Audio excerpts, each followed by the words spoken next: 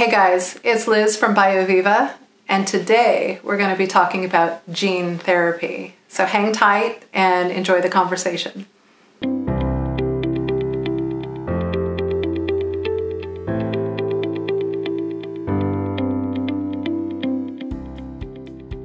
So, the genes in your body play an important role in your health. So, whether you're made of wood or you're a human biologic, uh, your genes actually are associated with your risk of disease.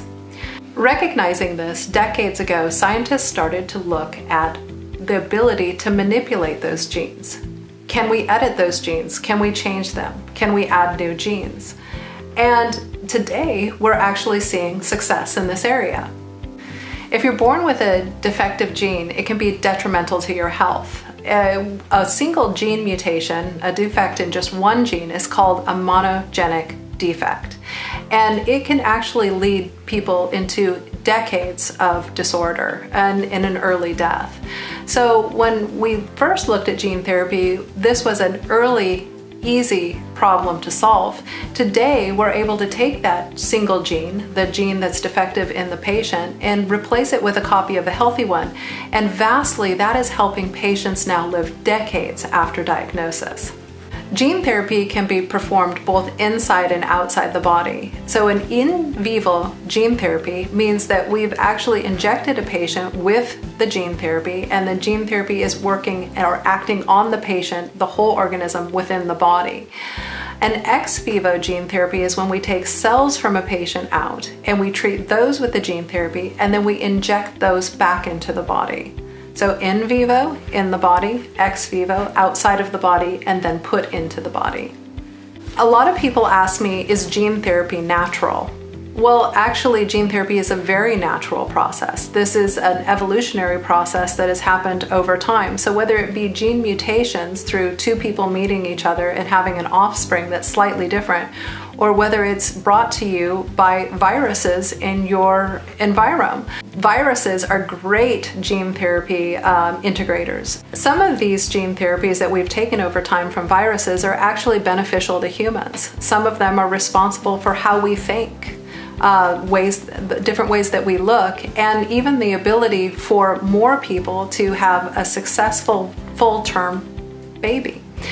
Integration of viruses over time has actually helped evolve humans. So, gene therapy, in fact, is a natural process, but now we can actually take it and start focusing it towards our desires. What are desirable genes that we actually want to integrate and give us certain benefits? So, with gene therapy, we can do several things. We can edit out a gene and replace it with a copy of a new one. We could just put a new gene into the nucleus of the cell that will code for a protein, or we can actually actively work to turn off genes that we don't want turned on in your body. So, genes code for proteins, and if we want to stop that protein from being made, we can actually silence it. So today we work with natural human genes. Uh, that's most of gene therapy. We look for genes that give you a regenerative advantage. So when we're looking at treating aging, what are we doing? We're trying to increase regeneration rather than degeneration. So aging over time is cellular degeneration. It's the accumulation of damage. We want to actually create cells that regenerate over time rather than degenerate. And what we do is we look at human genes that already exist that are known to do these things. One of them would be HTERT. It's a gene that actually increases the telomeres in on the ends of your chromosomes, and we'll talk about that in another talk that you can link to. Another gene would be a myostatin inhibitor, something that increases your muscle mass. It essentially codes for a protein that blocks the ability of your body to block muscle mass building, therefore making you stronger. But how do we deliver these genes? So these viruses essentially have the ability to hook up to your cells and put in genetic material. We actually create viruses that can't get you sick. They can't replicate any illness. All they can do is deliver human genes. And that's how human gene therapy is delivered today. So you're probably thinking, wait a minute, I heard virus. Virus sounds very scary and sounds like I'm going to get sick. But these are called attenuated viruses, and that's a really big word that just means that they cannot replicate. So as soon as they deliver their payload, they leave the system. So if you take a gene therapy, you're not contagious. You, no one can catch the gene therapy from you, and is within 24 to 48 hours, the treatment has actually left your body. Gene therapy is super awesome because what we can do is we can actually look at the code of your life and we can change that for health benefits. It's exciting technology. Uh, some of these treatments are one treatment to a cure, uh, so that's what we're seeing in monogenic disease. So I don't know if you've heard of boy in the bubble disease. It's called severe combined immune deficiency, and this used to be a disorder that children suffered from, and they would have essentially, if they were outside of a sterile environment, they could catch a cold that would kill them. And today, there's a one time treatment uh, to, that cures that disease, uh, creating a completely different world for these kids. Now, if we look at the potential to treat a multigenic disease, something like aging, uh, now we're looking at the potential to create a, a whole workforce that doesn't have to retire early, that can actually be productive, you know, live in houses with stairs, play tennis, you know, actually people enjoying their life. So even people who are not excited about what does curing aging mean, they are very excited about not dying of Alzheimer's. You know, anyone who's had someone in their family like that uh, knows how terrible that is.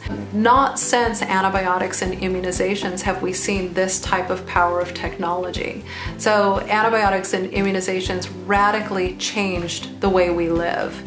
Uh, that with workplace safety and sanitation has increased lifespans to what we actually have today. So back at the turn of the century in 1900, people lived an average of 47 years in the US. And the retirement rate was set at 65 because most of the population didn't even live to 60. Uh, today, we have people who will live upward of 110 and are retiring very early, which is actually very difficult on the economy. The ability to use gene therapy to keep people active and part of the workforce uh, longer is actually helps not only us live better, but it helps us actually help the whole world live better. What would be the benefits of the future of gene therapy? How will it radically shift your life? Right now, your parents or your grandparents might take an average of five, six, seven, eight pills a day. Each one of those small molecules, when they go in, they have some off target effects that we don't want. They're called side effects and they might damage their liver, they might damage their kidney. But what if you can create the drugs that you need right inside the cell, using the cell as the manufacturing facility? Well, that's essentially what gene therapy is. We're putting in a therapeutic gene that upregulates a protein that your body needs, and then your body's able to use that. It's using it with its own information that it already knows how to read and understand and transcribe. So the future of uh, gene therapy, it will replace many of the things that we do today. Uh, we won't have to do, and whether that's invasive surgeries or or bottles and bottles of pills, uh, we can actually create the regeneration that we need at our cellular level. So again, with gene therapy, we can replace damaged genes or we can add beneficial genes those genes can upregulate regeneration or create a protein that we need right now. Introducing new genes can re-stimulate growth and regeneration in the body, uh, giving us the, the sort of advantage that we will need to be healthier for a longer period of time. So what did you think about gene therapy? It's pretty exciting. Your future looks bright. So if you want to learn more, follow us, follow the links below, and look out for our new episodes. Have a great day, and I look forward to your genetic future.